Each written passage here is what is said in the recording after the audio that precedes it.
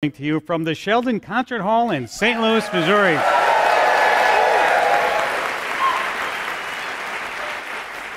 St. St. Louis, as everybody knows, is located uh, right in the Midwest, nearly in the center of the country, but things could have been different. There's an ancient fault line that could have split the continent. It could have created an ocean along your northern neighbors around present day Minnesota and Wisconsin. My next guest is trying to uncover signs of this fractured geological past. He's part of a team creating a sort of, sort of a telescope to peer underground with an interesting set of tools. He's using earthquakes and gravity. And we're going to test one of these out in a little bit. And if you want to participate in our little experiment right now, I take out your smartphones. You can download an app to your smartphone called iSeismometer both uh, iPhone and Android versions of this. We're going to do a little experiment with it later. So just to, let's, let's move along with that. Michael Wysession is a professor of Earth and Planetary Sciences at Washington University here in St. Louis. Welcome to the program. Thank you very much, Ira. It's a, it's a real honor to be on your show. Tell us about this ancient fault line. Where, it, where is it? How do, we, how do we know it exists? Why are you interested in it? I'll, I'll pick any one of those questions. absolutely. So, you know, geologically, people usually think that the action happens on the edges of the continents, right? If you want to find an earthquake in the United States, you go to San Francisco or Seattle or Alaska.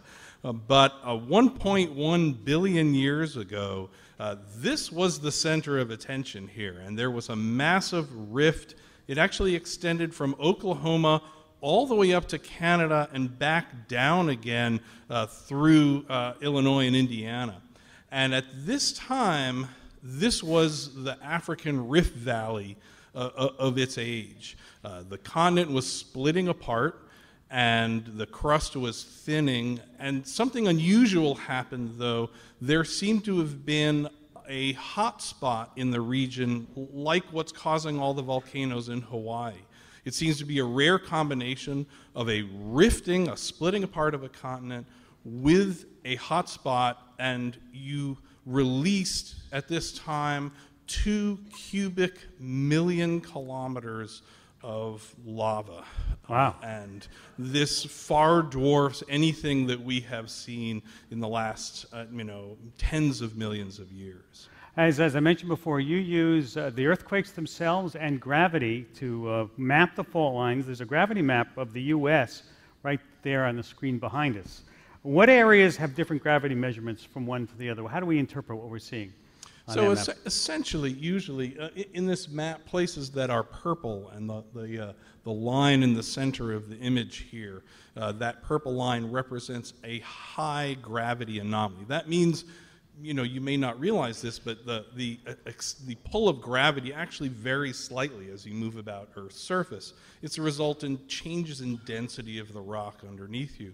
Now, normally when you cross a rift, like the African Rift Valley, your gravity is a little bit weaker because you've stretched and thinned the crust and you filled it in with sediments, which are less dense. This scar is just the opposite. It's a gravity high. Gravity pulls you a little bit more. And it's because there are 20 kilometers deep of basaltic lava that filled in this rift. In fact, instead of the crust being thin, the crust is actually 20 kilometers thicker than normal because of this massive amount of lava that filled it and, in. And the lava's got iron, rich in iron and things like that that affect the, the magnetic fields and gravity and stuff like that.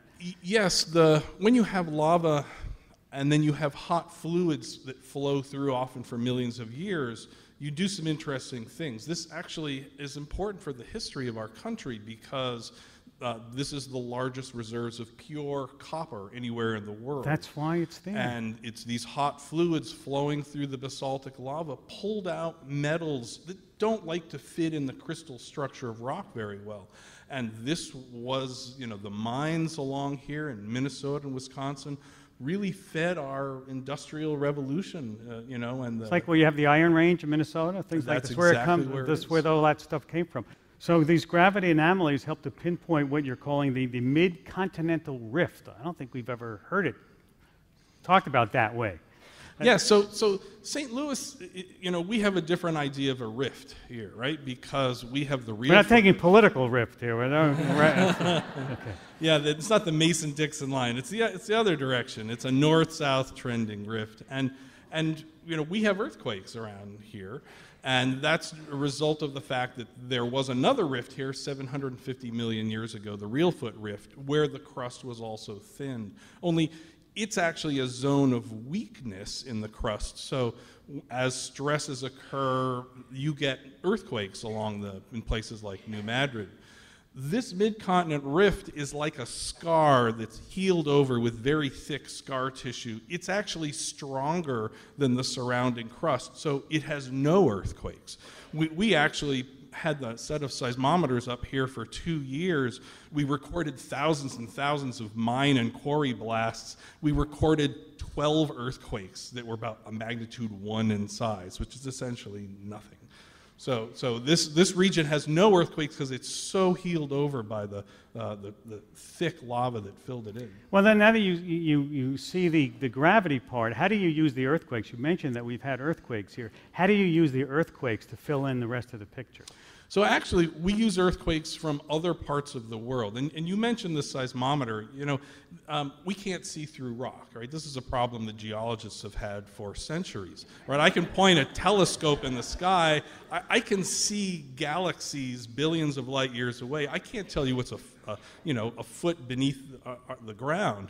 Um, but we can hear what's in the earth. You know, my wife's a veterinarian. She uses a stethoscope to hear what's inside an animal. I have a seismometer that I can use to hear what's inside the planet. And anything in the planet that makes noise, human generated or earth generated, makes a sound. And so we listen to the earthquakes arriving from around the world coming up underneath our network of seismometers, and it allows us to make 3D images, much like a sonogram does. And that's why I asked you to download the app, iSeismometer, because we're going to do a little seismic experiment right now, aren't we? Tell us what we're going to do. absolutely. Okay, so um, so this is a typical seismogram. There's a, a lot going on here. First of all, there are three components because we live in a three-dimensional spatial universe. So there's up, down, left, right, and front and back. And if you look at the iSeismometer app, there are many good phone apps that will that have seismometers. I like this one in particular because it does give you all three components. And if you sort of shake it different directions, you can see different of Wow. the three seismograms actually vibrate. And I have, uh, I have a demonstration here using a program called Quake Catcher Network, um, which was designed to actually record people's laptops from around the world. Uh, there have been cases uh, this, uh, where uh, earthquake has been recorded by essentially you know, a majority of Starbucks in the country. Uh, you, you can upload your, your signal from your laptop to this centralized location. But what I have here is actually a, an accelerometer, a type of seismometer that is, um, uh, that is plugged in through the USB port. And this is a great tool, by the way, for teachers. It's used in classrooms across the country. Um, you can demonstrate how an earthquake uh, operates. Um, to give you a sense of the, the sensitivity, though, if I just stomp from here, um, Whoa. you can see I Oh, yeah. totally swamped the signal there. I even got Um, it on my, my app right. And I want to do a little bit of a- an experiment here. I would like everyone on the left side to stomp their feet at the same time. One, two, three, stomp. Okay. Whoa. Wow, that was pretty Look at that. All right, let's Wow. try the right side here. One, two, three, stomp. Uh, yeah, it's about the same size, maybe a little bigger. All right, now the central part. One, two, three, stomp. Wow. That- that's big. Now, I don't know if this it. is going to work, but I want everyone in the balcony. All right, we'll see. Because now the signal, the vibrations are going to have to come down through the walls. I, I don't know that this is going to work, but we'll give it a shot. One, two, three. Whoa. There it is. You caused the whole building to shake, and we recorded it up, up here on the seismometer. Now, our our, the seismometers we use for our research are so sensitive, we record small earthquakes in New Zealand or Japan or anywhere around the world. And so that gives us the ears to the ground that we use to, to make three dimensional images of what the Earth is made of. And that tells us how plate tectonics works and how the Earth is, is moving. Um, did this group of sensors that you have around, uh, did they reveal anything about the geology of the mid-continent rift? What we notice, uh, and in this diagram on the left hand, you see the location of the seismometers. Uh, our deployment of over 80 seismometers was timed with a project called EarthScope, which was a fabulous National Science Foundation project that involved moving an array of 400 seismometers slowly acro- sweeping across the country over 10 years. And actually, now it's been moved off to Alaska. And so we had a large number of seismometers, and, and uh, the images on the right show the depth to the what's called the Moho, which is the actually named after uh, the uh, Andrija Mohorovičić. Uh, we can never pronounce his name, so we call it the, the Moho. It's the boundary between the crust and the mantle. And this boundary is normally about 40 kilometers beneath continents, 40 to 45 kilometers. Beneath the mid-continent rift, we see that dropping down to more than 60 or 65 kilometers, more than 20 kilometers thicker than usual. And that's due to the, the unique history where as the crust rifted and thinned, lava began pouring in, which was heavy and pushed, depressed it down, which left room for more lava to flow in. And by the time the process was entirely done, you have, as I said, more than 20 kilometers Ah. worth of lava. I'm Ira Flatow. This is Science Friday from PRI Public Radio International. Talking with uh, Michael Wysession about uh, a clinic he's conducting in uh, earthquakes and seismology and how to detect them. We have uh, someone in the audience here. Yes. Fracking in Oklahoma does it affect the crust that built that was built from the basalt lava? Um, So, the, the fracking in Oklahoma. Uh, what relationship does it have to the earthquake? so yes, thank you for that question. The, um, it used to be that the earthquake capitals of the U.S. were San Fran- were California and Alaska. That is no longer the case. The earthquake center of the U.S. is in fact Oklahoma. Um, it used to get one or two magnitude three earthquakes a year. It now gets over a thousand.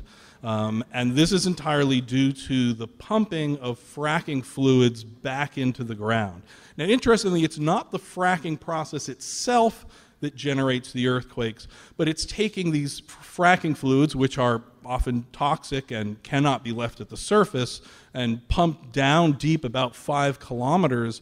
And in the process, it actually lowers the pressure but across the fall. Hey, let me give you an example. Um, would you push your hands together lightly and now slide your right hand up? Okay? So just slide it up like this. Okay? That's an earthquake. And at the surface, it happens fairly easily. Now I want you to push as hard as you can across your two hands. Now try to slide your right hand up. Okay? You can't do it. That's deep in the ground. The pressure keeps the fault closed and prevents earthquakes from happening. Now pump some lubricant, sort of oily fluid in between your hands, and that Huh. earthquake will happen. Wow. So it, it only happens where you have pre existing faults. And so these are old faults. Again, the continent is more than a billion years old there, but the faults will, are generally not active. However, when you pump the fracking fluid in and you happen to hit a fault, you will then generate. sort of lubricating. Lubricating, that's fine. Yeah, that exactly. So when we had all these the, the fault line there, why aren't we now not on beachfront property? You know, like that would be in California or whatever. Well, so that's a question that um, actually colleagues at Northwestern and University of Illinois have, have been working on. And it seems like right about this time, what is now the Amazon basin of South America, we called it at that point Amazonia, was sliding past the southern part of, of what is now the United States. And while it was sliding past, um, this is when the rifting across the midcontinent rift occurred. As soon as it broke away and the, uh, the ocean started opening there between you know, North America and Amazonia, that relieved the stress that was pulling our rift apart, and our rifting stopped there.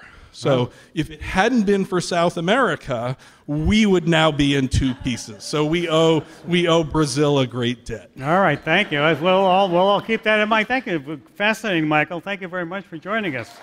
Michael Wysession, Professor of Earth and Planetary Sciences at Washington University in St. Louis.